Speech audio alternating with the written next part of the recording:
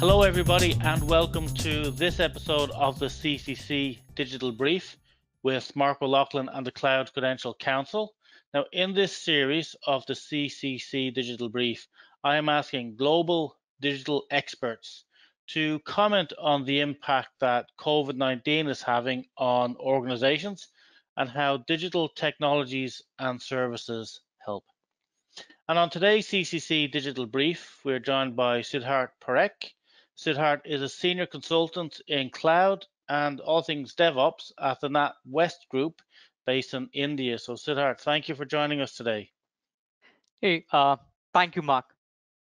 Pleasure mine. Now, now, Siddharth, can I ask, um, what industry uh, do you work in? I work for the banking and finance industry. In other words, a technology company having a banking license. Yeah. So the the financial sector, I guess that's uh, all things relevant at the moment. Um, now, how has that industry, so the financial, the banking sector industry, how has that and their customers been impacted by COVID nineteen? What's what's what, what challenges are, are happening there? The outbreak of uh, coronavirus uh, 2019 um, and associated public health measures to contain the disease has severely uh, you know disrupted the business activity across all areas of the UK in March. There were mm-hmm. widespread mm-hmm. job losses as firms scaled yes. back operations amid efforts to realign capacity with demand and reduce cost. Mm-hmm. Uh, also, uh, in the month of March, uh, uh, many regions recorded a decrease in employment as firms mm. scaled back staffing capacity in line with the lower uh, workplace activity and a drop in outstanding business. I see. So it's been significant. I guess there's a couple of impacts. There's the impact from our perspective on the cloud and digital that drives banking. There's been an impact on employment within the sector as well, both in IT yeah. but in the general um, uh, sector as well. I guess an impact in customers. Has there been any changes in customer requirements that mean the bank have to do or think things differently, but very quickly. Uh, for example, like government payments have been set up to get into banks and people's accounts, but that, that's all been done very quickly, very fast. Uh, are there any things like that that's happening in the finance sector that either helps customers do something or just by the very nature of COVID 19, banks have had to do things very quickly that they wouldn't have done in the past?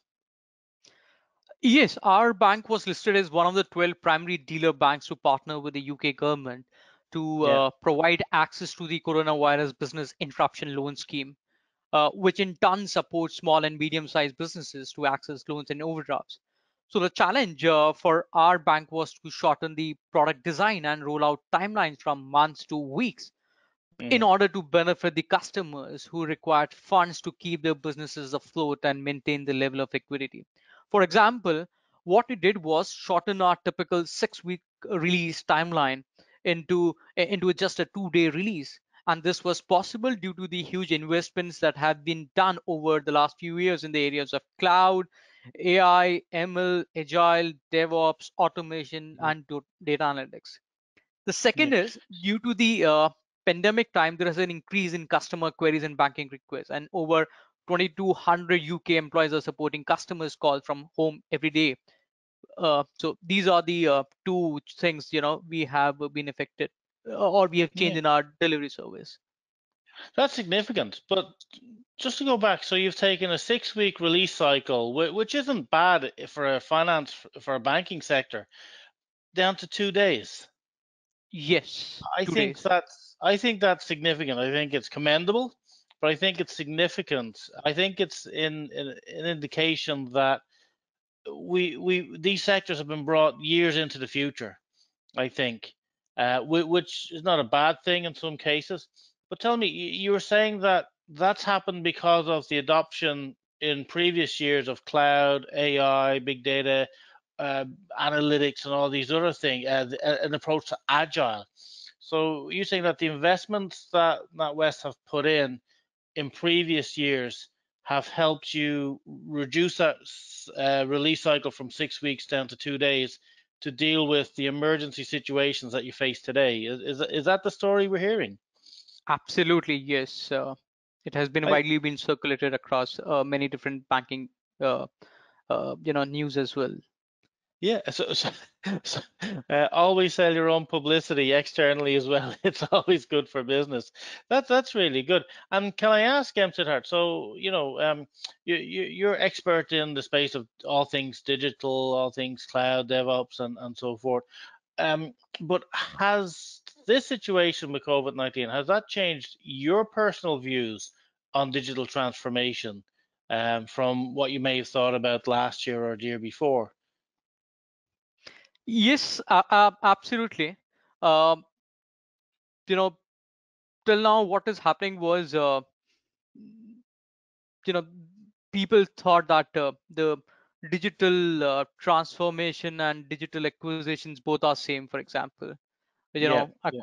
acquiring Zoom or Team is something digital acquisition is, but on the other hand, uh, is that digital transformation? No. So uh, your question sounds uh, familiar to uh, me in a different pers- perspective also. Uh, you know, when people don't know the difference between doing agile and being agile.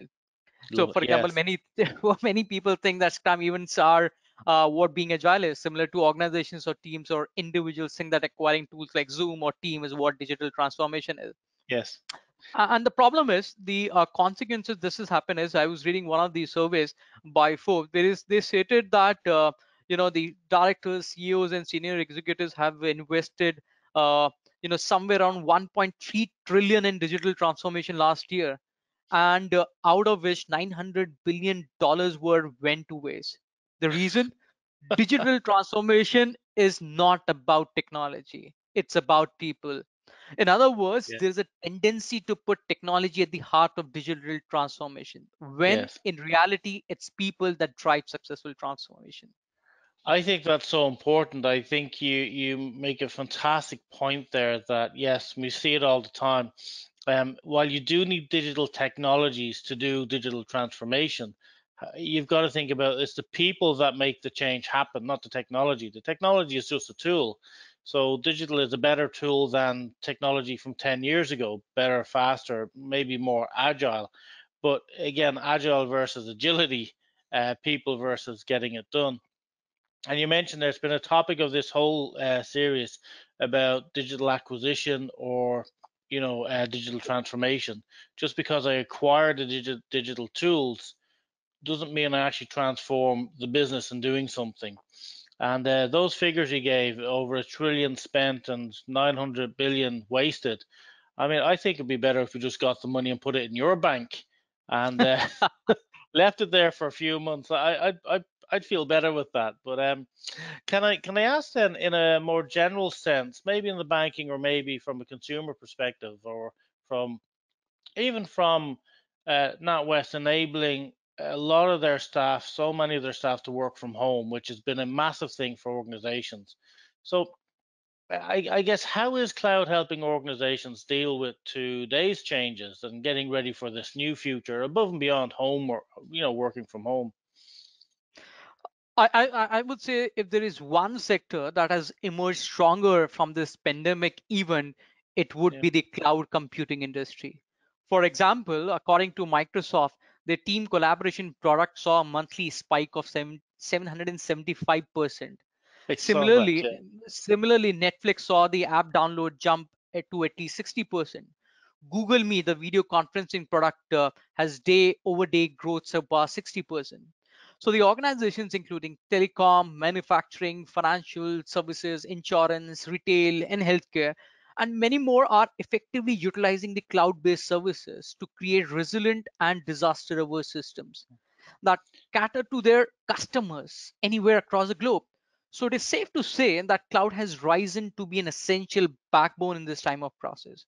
And I, I lastly, uh, ahead. one Yeah. more point, sorry, uh, Yeah. that along with the availability and the scalability benefits, cloud platforms also have the benefit of global reach. Two months ago, it was a strategic question about cloud. Now it is an existential question.